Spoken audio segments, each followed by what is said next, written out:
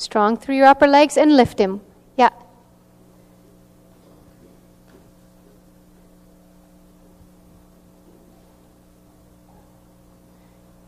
And from K to S, forward again, medium trot, right rein a little bit shorter. Yeah, and at S passage again, and from one step to the other, Debbie. Try to demonstrate. Yes, that was better. That was already a little bit too much for medium trot. Yeah.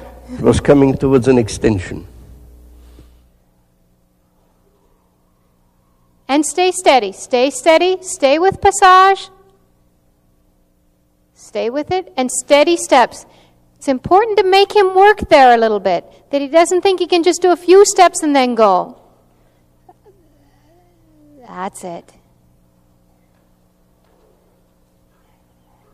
And again, passage. Soften on the inside rein.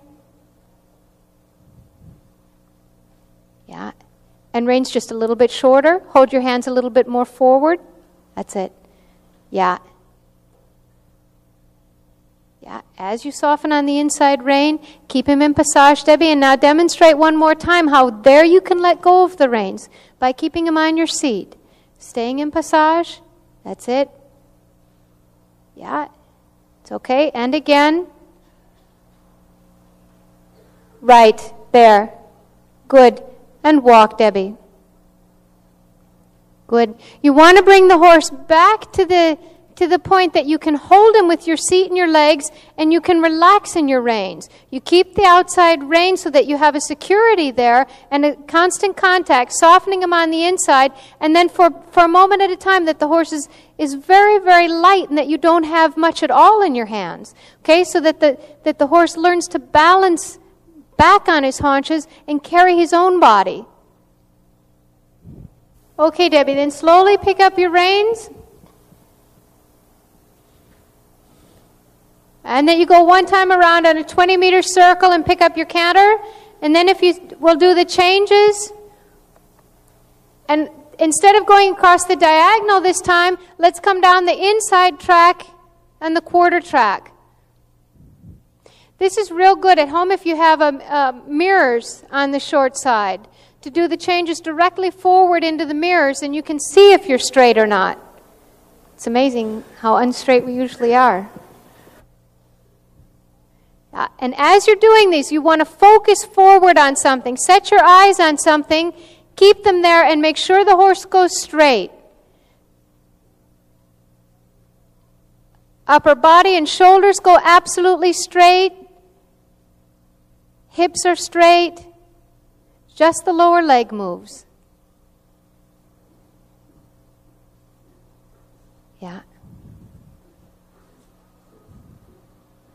Yeah, watch, Debbie, that you don't twist in your waist, okay? Absolutely straight ahead with your body from your hips and your shoulders, one straight line forward. Focus forward. Better. Yeah. Yeah, careful there. There again, you came to the outside. You dropped in the in the right hip. And again, make sure your hips stay absolutely square, dead straight.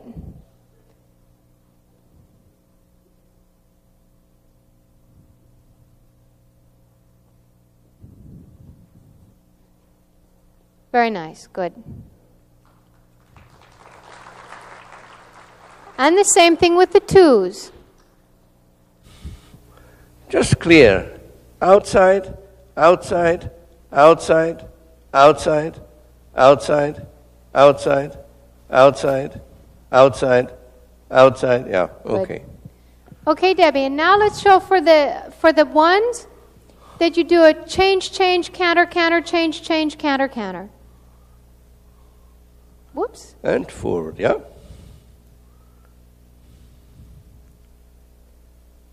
Yep. Okay, and back again. And again, get the rhythm down the long side. If you want to do four together, go ahead and do four together, canter, canter, four together. Just take and make loose. Take, loose, take, loose, take, loose, take, loose, take, loose, take, loose. Or if you okay. want to do 22, do 22. Good. Debbie, come do a walk with him. Okay, here with the horse, learning the ones and, and in the ones. When they offer something like that, the rhythm stays good, everything stays fine with it. Stop with them. Don't, don't drill it with them. Okay, we, we wanted to do canter, canter, change, change, and that's how, that's how a good way to begin with a, a horse learning that because they start getting on the aids. Also, the rider has time to figure out the aids. You change, you change, canter, rhythm, change, change, canter, rhythm. Okay, so that everything becomes in a rhythm. After you do a couple series of those, then in the middle of the long side, instead of just going change, change, you change, change, change, change back to canter and stay like that so that it really becomes a rhythm and you and the horse develop an aid between each other. Ones can't be lucky. I've tried it that way, it doesn't work. You've got to do it so that you've got an aid for them, okay? And once you've got the eight, then if you want to do four, you can do four. If you want to do 44, you can do that. And the canter rhythm, the canter itself should become almost better in the changes. Usually, a lot of times the canter, don't you find this as a judge that a lot of times during the canter, uh, in the flying changes, that the canter itself becomes better because the spring is renewed all the time. Debbie, thank you.